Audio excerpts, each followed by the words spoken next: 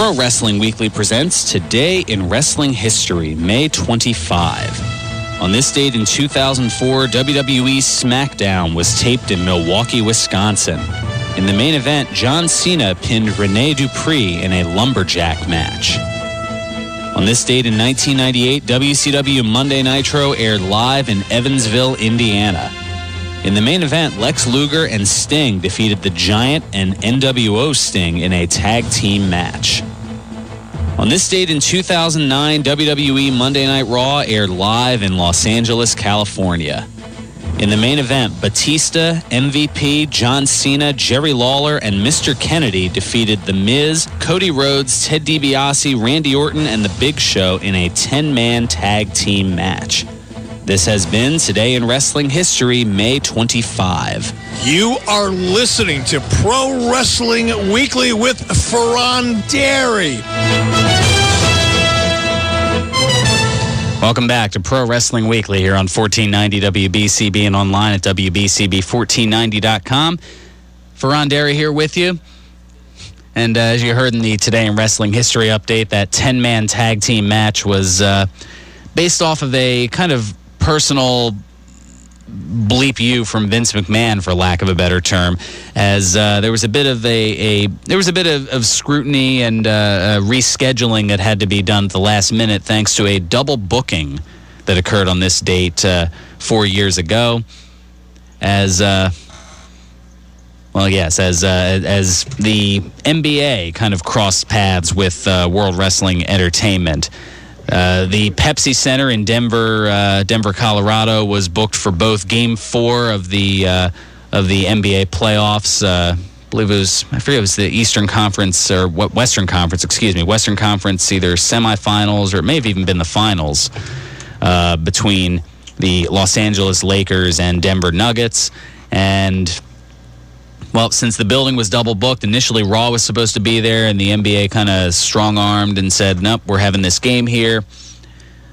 I guess the owner, uh, Stan Kroenke, kind of caved in to the NBA and told WWE to hit the bricks. So they were left scrambling for a venue for Monday Night Raw and ended up going over to the Staples Center in Los Angeles which has earned them a bunch of goodwill since because it feels like they've had what every SummerSlam since then, and probably a couple other pay per views as well. It seems like uh, at least at least twice a year there's a, a, major event being held at the Staples Center, and only now for the first time in four years is uh, WWE uh, pay per view coming back to Philadelphia for Money in the Bank. But in either case, the, the entire two hour Raw was basically spent ripping on the Denver Nuggets and Stan Kroenke and uh, the owner of uh, of the Nuggets as well as the uh, Pepsi Center, and it, it culminated with a five on five tag team match, which was done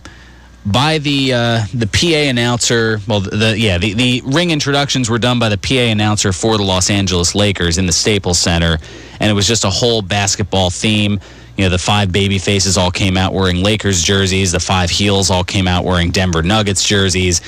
It was just a it, it was a whole thing that. Uh, it was just kind of meant for that night. If I guess WWE had taken the high road on it and just you know accepted the fact that they had to reschedule and not kind of stick it to Denver, I don't know. Maybe they would have uh, won a little bit more in the court of public opinion. But Vince McMahon, he he's used to holding grudges.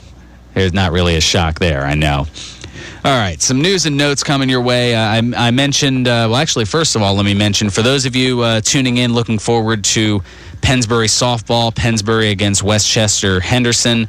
It was announced earlier today that the game has been called due to uh, poor field conditions, of course, from the rain stemming yesterday into the overnight this past night. So the uh, field's being unplayable. The game has been postponed. Not sure what uh, that new date is, as that hasn't uh, yet been announced. So that means I initially thought I'd be on until about a minute from now, but got our uh, 10 minutes back thanks to Mother Nature. So that is, uh, that is good to know. Uh, now, for next week, along with my predictions certain to go wrong for the Slammiversary pay per view, I also will air my interview with Diamond Dallas Page following that in person session of DDP Yoga. And today actually marks 30 days since I've started DDP yoga, and I feel fantastic. I mean, I, I, have felt an increase in strength and flexibility. I feel like I'm in better shape now than I was in high school. Uh, after next week's interview, I'm looking forward to speaking more at length with Page about his career, how he started DDP Yoga, and his continued efforts in bettering the lives of his friends Scott Hall and Jake the Snake Roberts. And for more information about DDP Yoga, you can check it out at ddpyoga.com. And, well, like I said, I'll, I'll delve even more into that next week along with the DDP interview. Uh, let's get back to the phones and then get some uh, news and notes. We've got uh, Steve from Bristol who's been hanging on. Steve, what's going on? Yeah, Paul Heyman, he disappointed me again, Braun. Let me just tell you why. It should have been Rob Van Dam. We both know why. And if he couldn't give me that, why couldn't he give me Teddy Hart? This guy. Teddy Hart. Yeah, the guy he brought in. Is he even as good as Ryder?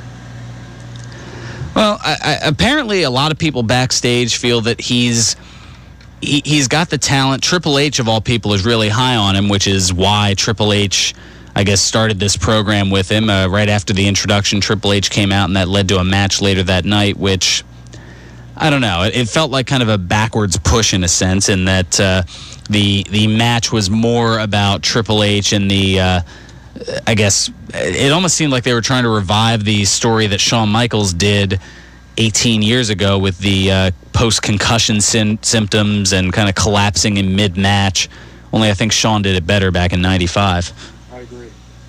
It, it, it just puzzles me. It's almost like, correct me if I'm wrong, if this guy starts to fail quick, Punk's got to come in and bail him out fast. He'll be Punk's protege. Uh, they could go in that direction. I mean, I, th- I think a lot of this is just to keep Paul Heyman on camera as we don't know when exactly Punk is coming back, and Lesnar only has X number of paid appearances, so he's out of the picture for a while until probably SummerSlam at the earliest. So, so, so basically, Triple H doesn't want Rob Van Dam back in the company. That's what you're telling me. Well, on the same token, what's Van Dam going to do? Do we really? I mean, we keep talking about we want a youth movement. We want new, fresh faces. We want, we want the next we want somebody not named Brock Lesnar, not named CM Punk, but we want somebody that Rob can bring along.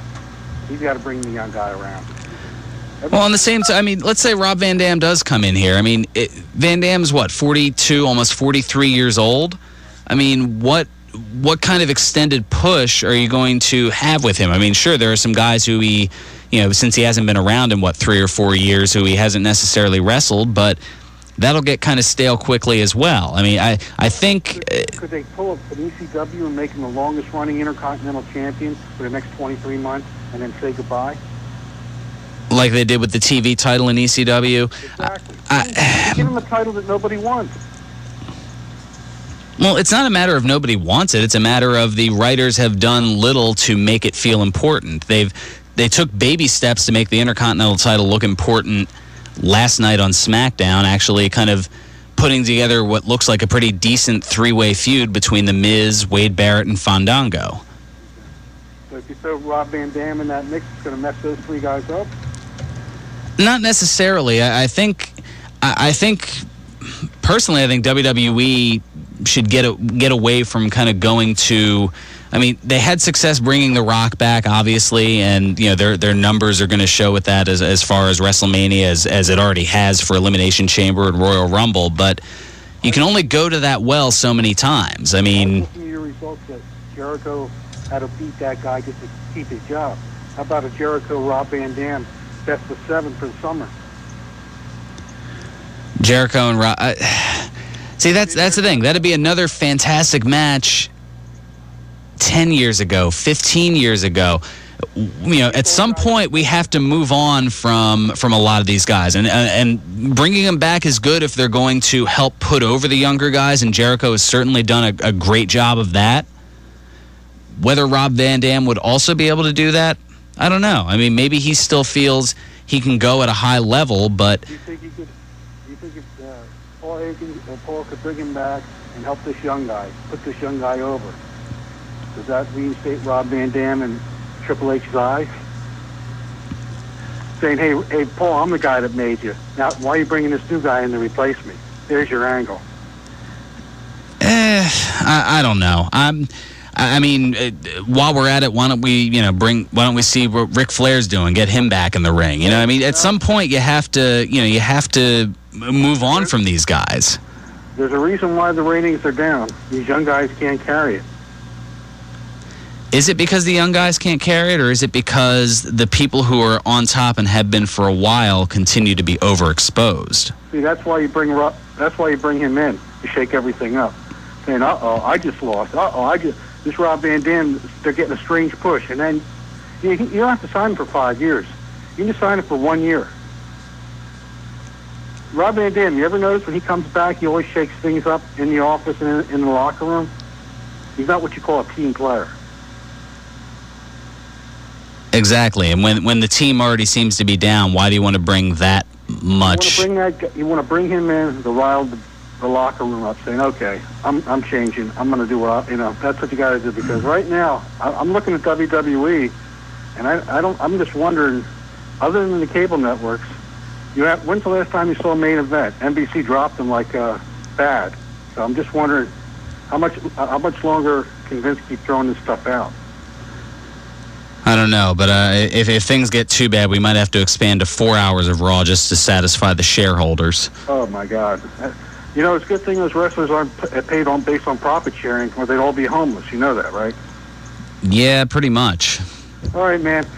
All right. Looking That, forward to this Diamond Dallas Page thing.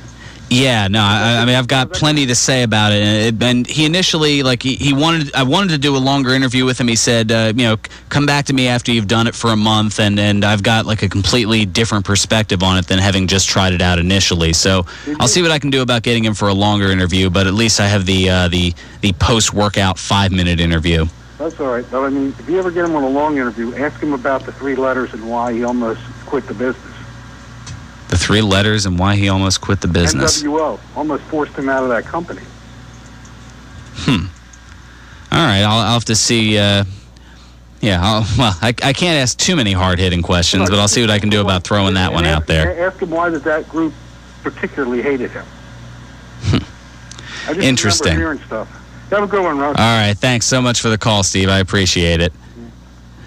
Yeah, Steve. Uh, Steve brings some interesting points, and uh, he's a huge Rob Van Dam guy, uh, and and I get that, but uh, I don't know. You can only be at the top for so long, and I think uh, WCW proved that uh, a little overexposure at the top, not necessarily a good thing. All right, we got a couple minutes here for some uh, hit, qu- quick hits, tidbits, news, notes, things of that nature. All right. First of all, WWE working with the NFL. Yes, WWE Hall of Famer Jim Ross meeting with the NFL Players Association in hopes of developing a program that would funnel NFL players to WWE developmental. Uh, as he told Jim Miller and Alex Marvez on uh, Sirius XM NFL Radio, everybody doesn't make the 53 man roster. Some guys are going to be looking for work, and we've got some job openings. Maybe we can put the synergies of those two entities together and create something wonderful someday. I mean, football crossing over into wrestling, and it's nothing new. It's it's been around for gosh, probably 50 years at least. I mean, going back to what the big cat Ernie Ladd. I mean, and there there are a number of different examples. I mean, the different football players who. Uh, who, who uh, came over into that battle royal, you know, in '86, for example, WrestleMania 2. You know, Bill Fralic, William the Refrigerator Perry. You look back to the '90s with WCW, Steve Mongo McMichael, Reggie White, Kevin Greene. So I mean, and other football players who have transitioned over to wrestling. I mean, uh, uh, Lex Luger was a was a football player at first, played in the CFL for a little bit. Ron Simmons, uh, a defensive tackle from uh, from Florida State University. The Rock, University of Miami. Granted, he had the uh, the family history, third generation, and all that, but there's a lot of football crossover into wrestling. I mean, even you know, even going to like high school and middle school, you have people who play on the football team in the fall and then they wrestle in the winter. So, I mean, granted, that's that's scholastic wrestling as opposed to professional, but there's always been that football and wrestling synergy, and I'm definitely on board with the move. Little video game news. Next WWE video game to be rele- released for next gen consoles WWE 2K14, the first WWE game produced by 2K Sports since buying out THQ, may be available for the next generation PlayStation 4 and Xbox One consoles, but will not be available for the Wii U console. The game is scheduled for release for the PlayStation 3 and Xbox 360 on October 29th, with any next gen console releases dependent on the release of those consoles. So we'll see. We'll see if they have features that'll actually make it worthwhile, too. That's the other thing.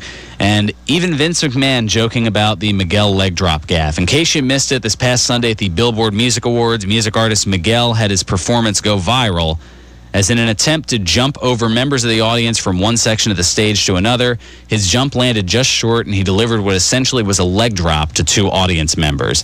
Vince McMahon even chimed in on the gaff, tweeting, Miguel should leave the high flying to the WWE superstars.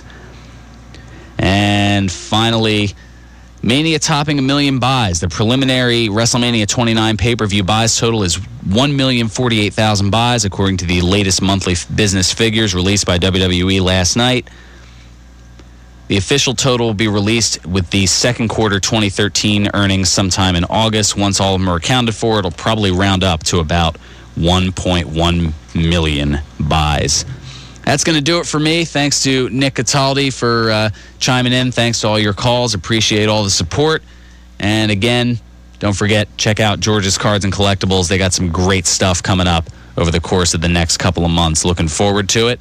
And looking forward to being back with you next week for Pro Wrestling Weekly here on WBCB.